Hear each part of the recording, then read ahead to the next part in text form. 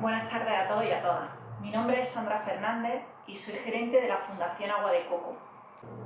Os quiero contar lo que hacemos en Fundación Agua de Coco y lo quiero enlazar con el objetivo de esta exposición que se llama La fuerza de la mujer malgache. En Fundación Agua de Coco llevamos más de 26 años trabajando para mejorar la calidad de vida de las personas en los países del sur, especialmente mujeres, niños y niñas. Todo empezó en 1994, cuando su presidente y fundador, José Luis Guirao, eh, se fue con Veterinarios Sin Fronteras a Camboya. Él empezó a trabajar como veterinario, pero pronto se dio cuenta de la realidad que vivían muchas personas, eh, muchas familias que vivían en las calles de Batambán y empezó con ellos un proyecto asistencial. Eh, tras esto, inició otro proyecto en Ruanda, en Brasil y finalmente se estableció en Madagascar, donde actualmente tenemos más de 20 proyectos. Eh, nuestros proyectos eh, se enlazan tres ejes fundamentales. La educación, que para nosotros es básico, ya que es el motor para un desarrollo sostenible, eh, el, el eje social y el eje medioambiental. Todos ellos tienen como transversal la educación.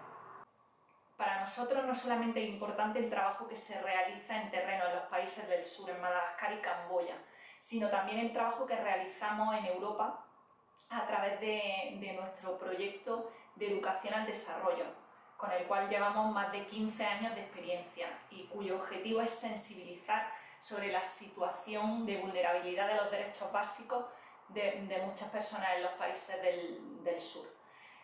De hecho, eh, ese es uno de los objetivos de esta exposición eh, la fuerza de la mujer malgache es sensibilizar sobre la situación de la mujer en Madagascar. En esta exposición hablamos, bueno, se muestran fotos de la infancia de la mujer, el trabajo, la educación, malnutrición, diferentes aspectos de la mujer en Madagascar. Por eso quiero contextualizar para que conozcáis un poco Madagascar con una pincelada de datos. Madagascar ocupa el puesto 162 de 189 países en cuanto al índice de desarrollo humano eh, del informe de las Naciones Unidas de 2019. Madagascar es el cuarto país con más casos de malnutrición crónica del mundo. El 60% de las personas en Madagascar viven por debajo del umbral de la pobreza y el 42% de los niños menores de 5 años sufren malnutrición. Eso en cuanto a datos generales.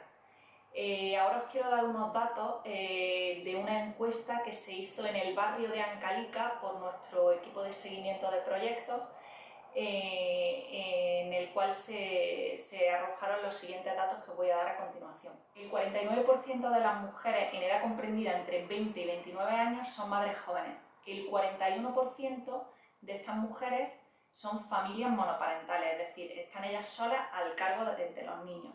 El 73% de estas mujeres no tiene un empleo estable con el cual dar sustento a su familia y el 78% de estas mujeres eh, tiene mal estado de salud. Bueno, como habéis visto, el contexto con estos datos, trabajamos en un contexto muy complicado.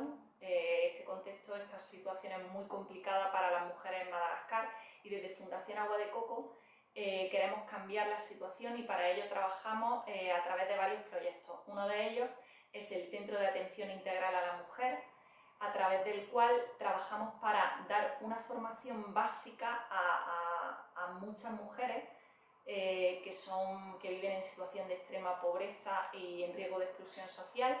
Eh, se le da una formación básica en matemática y contabilidad y se las capacita para realizar un oficio y poder mantener dignamente a su familia.